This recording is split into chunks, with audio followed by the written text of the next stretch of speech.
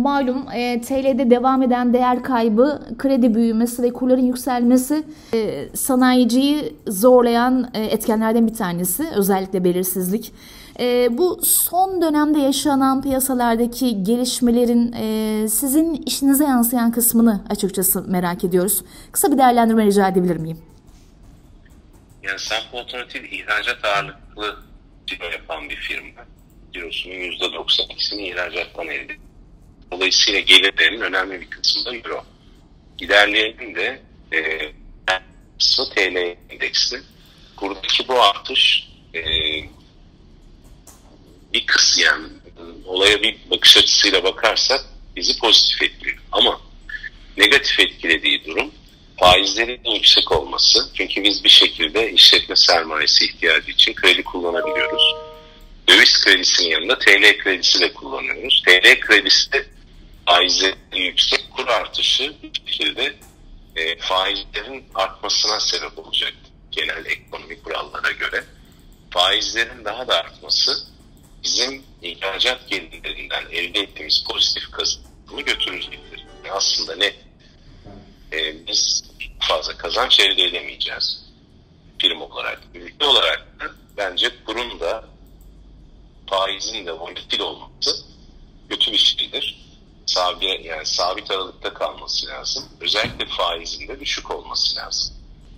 Bizim arzuladığımız ortam volatiliteden uzak bir e, TL dolar ya da TL euro e, yani TL'nin aslında diğer para cinslerine göre volatilitesinin düşük olması yani hı hı. hızlı değer kaybı ya da hızlı değer kazancının e, daha minimum seviyede kalması ki bence sağlam ekonomilerin temelinde bu vardır. Hı hı. E, ve faiz ve enflasyonun da düşük olması. Bizim nihai ülke olarak nihai hedefimizin doğrunun bu olduğunu düşünüyorum. Evet. E, yani doğru gelişmiş toplumlara baktığınızda, gelişmiş ekonomilere baktığınızda enflasyon faiz oranları ve kendi para birimlerinin diğer para birimlerine göre ne kadar volatil, volatil olduğunu incelerseniz hı hı. o bir referans noktasıdır. Hı hı. Biz bu referans noktasından ne kadar uzaktayız buna bir bakmanız lazım. Eğer çok uzaktaysak endişe duymanız lazım ama çok uzakta değilsek e, endişe duymamanız lazım. Şu anda e, Türkiye'deki fabrikalar belki 40'ın üzerinde hı hı. yoğun bir kapasiteyle çalışıyorlar. Ve bunlar ürünlerini ortalama %70, %80 ihracat yapıyorlar. Eskiden bu ortalama %15-20 idi.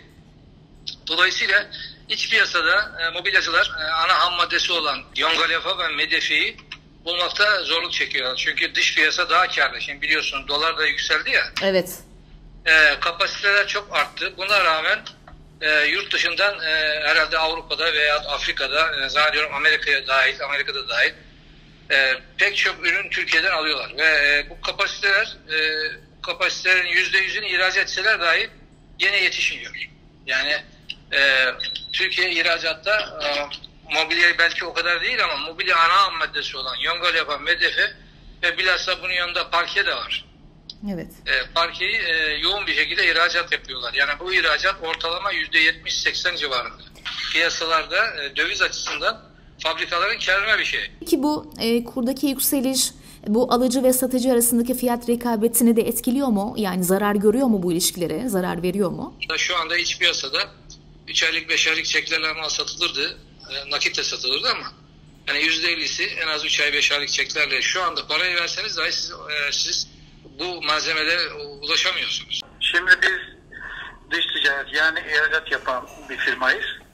Ee, yükselen maliyetler e, ürün satışımızı çok aksatıyor.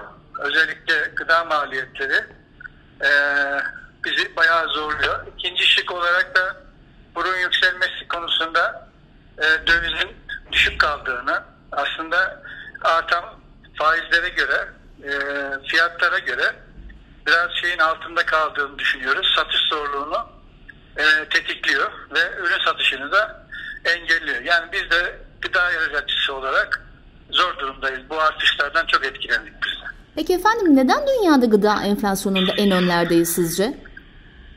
Şimdi gıdada e, tarım politikası e, yok. Onun için e, geldik. Şu anda belki biliyorsunuz makarna yerli buğday olmadığı için makarna ihracatı yasaklandı. Pirinç ihracatı izne tabi, şeker ihracatı izne tabi e, ve ülkemizde tarımda büyük bir eksiklik var. Bu eksikliğin giderilmesi lazım. Yoksa daha da kötüye gidebiliriz bu tarım alanında. Dünyadaki, Türkiye'deki talepler düşüyor. Dünyadaki ticaret insanları başka ülkelere yönlenmeye başladı. Özellikle çok ön plandaydı. Hı hı. E, son yıllarda e, İspanya, İtalya, e, Portekiz, bu ülkeler, Yunanistan özellikle bizden daha uygun fiyatlar vermeye başladı ve bizim pazarımız o tarafa doğru kayıyor. Neden? Bizim e, tarım politikamızdaki eksiklikten dolayı. Sadece e, ticareti işte e, dövizin artması veya işte e, faizin e, aşağılara çekilmesi veya yukarı çıkması meselesi bu bir ticaret bir global bir iş. E, işte döviz artar, ithalat düşer. Üretirseniz ihracatınız çoğalır, cari açık azalır ve ülkeniz kalkınmış olur. Ticarette bir yere kadar gidersiniz, bir yerde tıkanırsınız. Çünkü üretmiyorsanız bir yerde tıkanacaksınız. İthal et, üret, ithal et, işte işte transit yap. Bunlar ülkeye para kazandırabilir belki geleceğe götürmez.